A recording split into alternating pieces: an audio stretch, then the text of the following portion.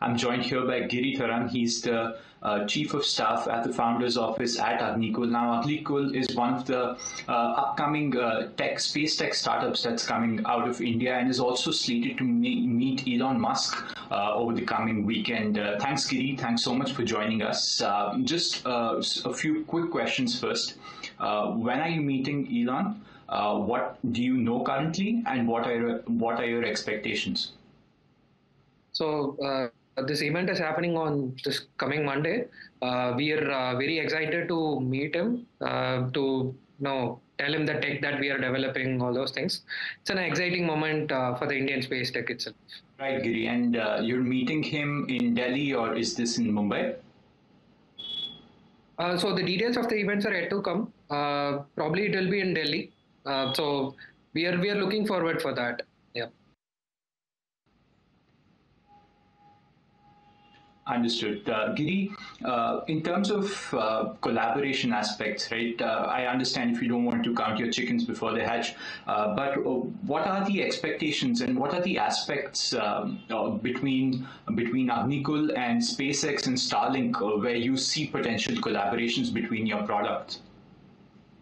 So this particular moment is, you know, more than I would say, uh, right? So uh, Indian space tech, the private space ecosystem as such, with the help of InSpace, has grown to a level that we are we are you know showcasing all our startups to Elon, right?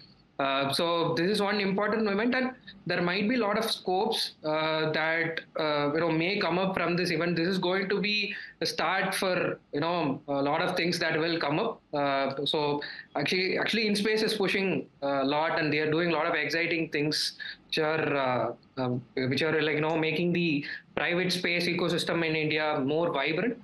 So yeah, there are a lot of things that will come up the coming days. Right, very interesting, Giri.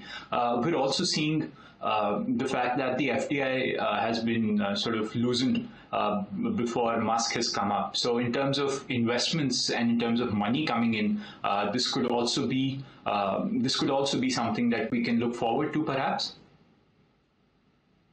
So, this will create potential impact on the investment ecosystem as well. This will bring in like you know a lot of attention towards private space tech, right? In the like you know recent measures of the government to right you know permit uh, automatic route till 49% actually has uh, uh, like you know uh, made a lot of invest investors in the community to look space tech as one important uh, sector that is growing up. Right? So again this particular event will bring more attention to this right. uh, particular ecosystem and also will help all of us to you know uh, grow together Right, interesting, Giri. Uh, lastly, just give us an idea of what's in Agnikul's pipeline as well. Uh, we've, we've seen a bunch of payload vehicles being launched. Uh, what more can we expect from Agnikul? Yeah, so actually we are looking for our for, for our first launch in a couple of weeks uh, from Sriharikota, uh, from our own launch pad. It is India's first private launch pad.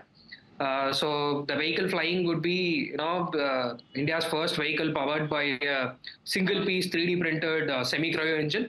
So that you can expect very soon. And after that, we'll also work on our uh, orbital uh, vehicle that will be flying very soon after the suborbital attempt.